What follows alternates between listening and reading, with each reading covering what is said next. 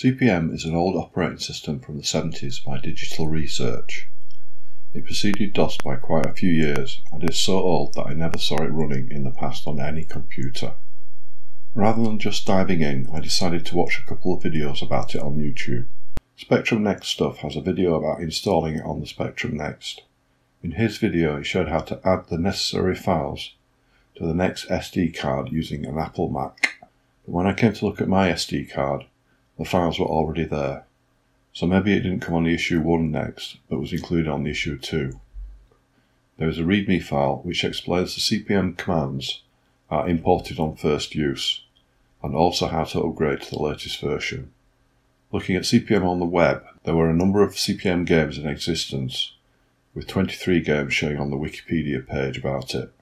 They included Space Invaders clones and the old classic Lunar Lander. The Aliens or text only Space Invader clone was made up of only letters and punctuation marks. Moby Games lists 58 games, and if you hunt a bit more, you can find pages about specific games like Breakout. Games were not just programmed in machine code and BASIC, but also on GitHub there were games programmed for CP/M in Pascal. This game, Evasion, being written in Turbo Pascal. But for my experiment, I thought I would try to get some CP/M basic programs running on the Next. I found a selection of basic games and put them on my next SD card. I started at my next and selected the CP/M option. So first of all it mounts drive for CP/M and then goes into the green and black entry screen importing each of the um, operating system commands one by one. So there's quite a few, maybe 20 or 30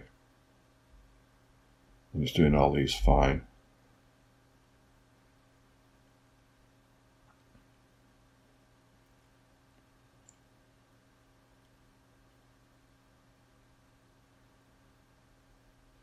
So then press first to edit to ZXOS and then go back to the CP/M option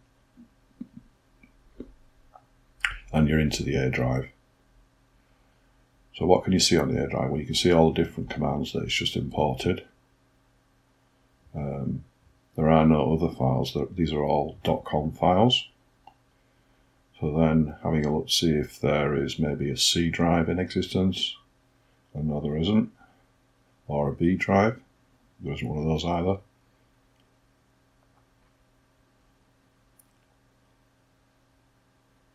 So then trying the help command you've got help on all the different commands there. So you can type in one of those. So I tried the get command, so it gives a whole bunch of information about the get command, which you can read through, or any of the commands. And then going back to A,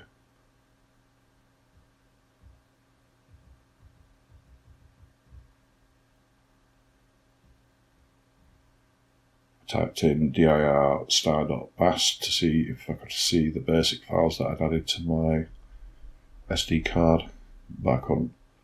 So then going to Retro Box Rooms video, I found that there was a command um, which is used to create a B drive.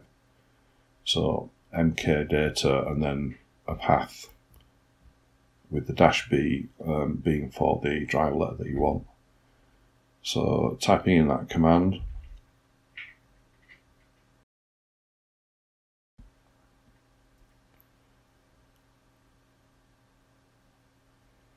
using the next command line option.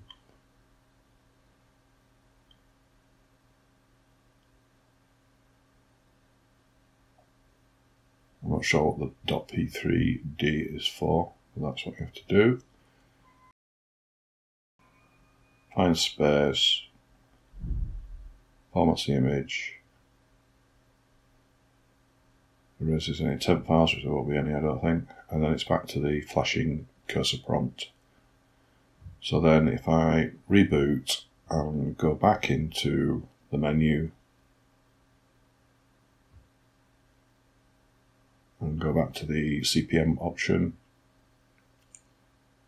you can see if I try and switch to B,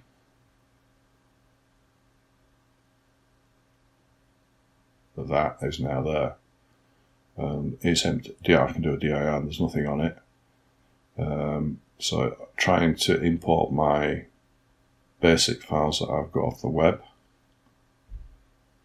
Um, you seem to need to do import for pretty much anything that you want to use.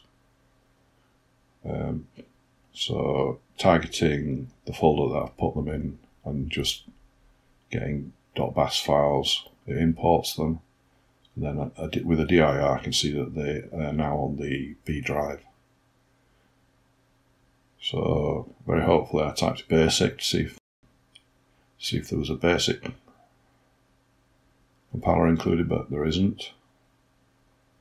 So a few attempts at that.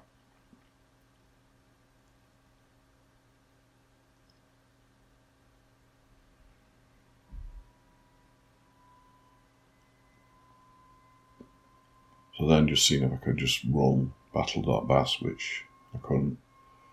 So it seemed that what I needed to do was put a version of BASIC onto my CPM installation. So I found one called Nevada Basic and imported Nevada Basic into my CPM installation. So first of all I had to put this onto my SD card. And then nv star star should import all the different files for Nevada Basic, which is done. And I put them onto the B drive.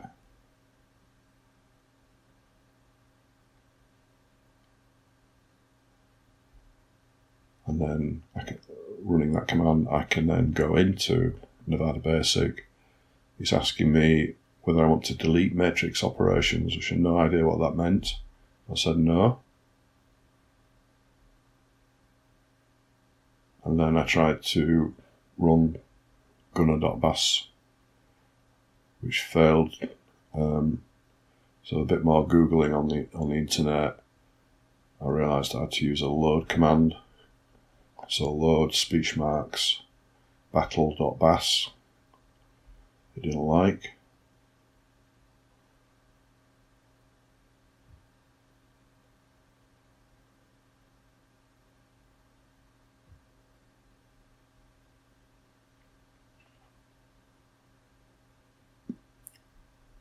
So trying again from the B drive, and this time it has loaded the program so I can see it listed.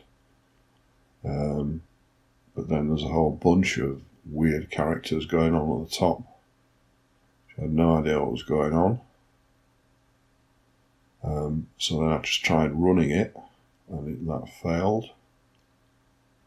And just showed me the listing again. it does look like basic, so it, doesn't look too difficult. A bunch of print statements and rem statements, the stuff that you'd expect. Um, so then I thought I would try a different um, program.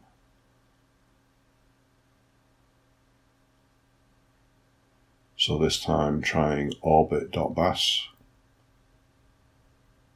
Sounds like a familiar game, and, and then I got a line number error so it wouldn't load that one either. And I couldn't run it. So it seemed that the basic files that I'd downloaded were not Nevada Basic dialect, or possibly the CPM version was incorrect, I'm not sure. So then, as a final attempt to get something running, I typed in uh, a print hello world or print hi uh, program as you would do back in the old days, and then 20 go to 10, and uh, then run that just to see something running. And it worked. So that's as far as I got with CPM on the next. A fun couple of hours playing, and thanks for watching.